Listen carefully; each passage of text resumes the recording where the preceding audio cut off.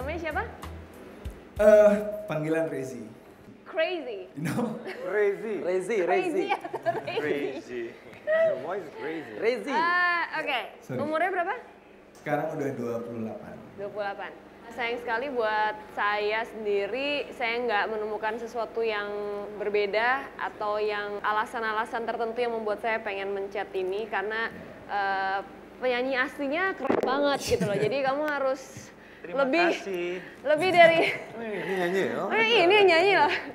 Jadi kamu harus Baru tahu ya. harusnya harusnya lebih atau paling nggak sama gitu. Iya. Ya kalau tadi ya semoga di lain kesempatan bisa lebih baik.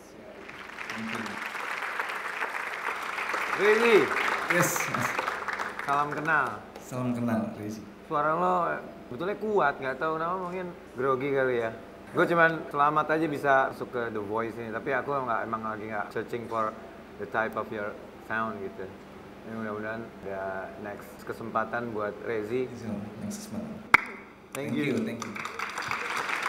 Eh, Rezi, kamu waktu lagu ini dirilis tahun 95 umur berapa? Kebetulan ini lagu yang membuat saya suka musik mungkin salah satunya lagu ini juga gitu. Jadi mengingat kebetulan beruntung banget bisa ketemu sama Mas Ari Lasso juga Terima dan kasih. semua para coach yang ada di sini. Kamu punya selera yang bagus lah ya suka lagu ini ya.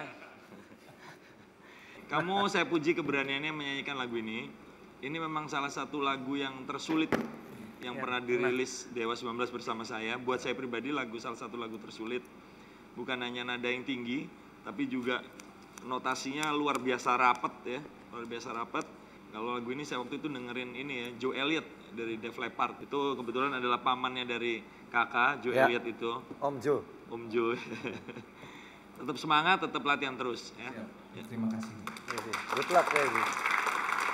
Ya, Reji, kamu menyanyikan sebuah lagu yang dinyanyikan salah satu vokalis terbaik di Indonesia. Kita sama nih, ngefans sama dia dalam perjalananku. Aku sering banget bawain lagu dia di lomba-lomba. Jadi kehebatan suaranya Ari ini kan walaupun rock dia tuh masih sweet, manis dan semua lirik-lirik yang uh, ada di Laki lagu itu gitu ya. laki nyampe gitu loh. Itu nggak gampang. Bawain lagu ini di Mahadewa dan aku rasa jauh lebih bagus versinya Ari Lasso waktu di Dewa Bawain ini karena memang lagu ini dia makan lah dia miliki aku lebih ke kayaknya main nada aja lebih ah gue naikin deh supaya beda gitu tapi untuk lagunya sendiri Gue naikin deh supaya beda. supaya beda aja karena kalau ngambil Merendah kekuatan tapi meninggikan. lagunya Merendah tapi meninggi. Jut, kamu hari ini baik banget sama aku ya. lo nggak ini baru mau mulai pertempuran Oke. Jadi itu awalnya eh, ya ka- aku dengar kamu nyanyi lagu ini sih ya bukan bukan jelek tapi karena aku lihat langsung ada yang harus kubandingin di depan mataku jadi kamu masih kurang maksimal atau jadi yang berbeda sekalian gitu. Jadi eh, mudah-mudahan jangan patah semangat ketemu lagi di lain kesempatan ya. Terima kasih. Terima kasih.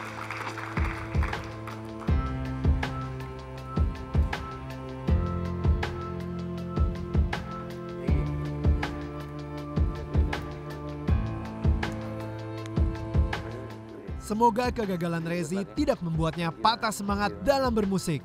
Keep rock and roll, my bro.